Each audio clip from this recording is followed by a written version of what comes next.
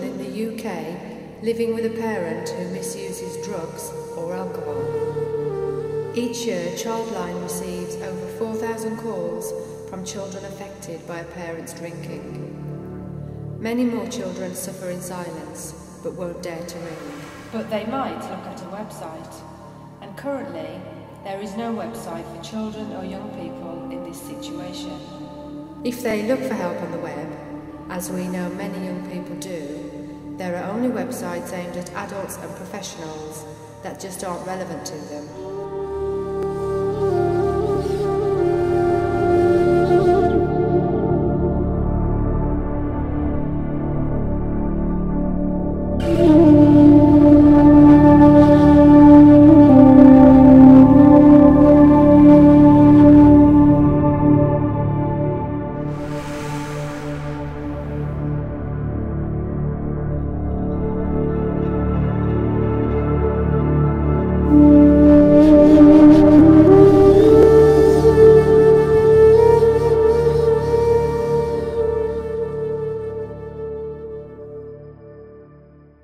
I felt like unwanted and everything because my mum was like taking more.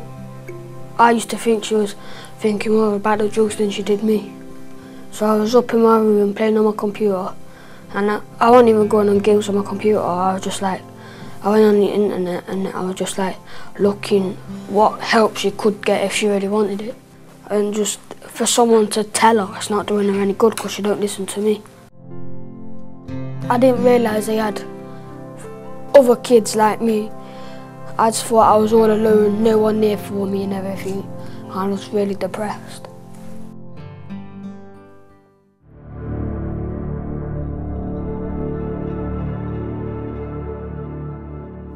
The Children's Society Nottingham has worked directly with children whose parents misuse drugs and alcohol for seven years.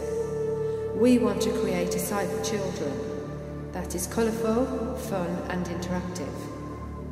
But we need you, Precedent, to make this happen.